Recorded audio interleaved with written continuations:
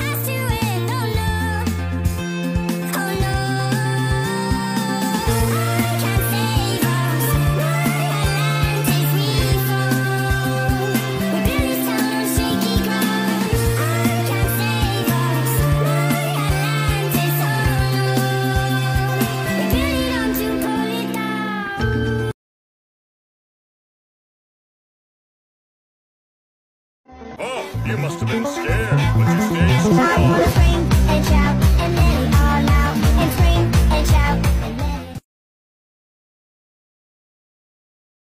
I can't help the fact I like to be alone. It might sound kinda sad, but that's just what I seem to know. I tend to handle things usually by myself, and I can't ever seem to try and ask for help.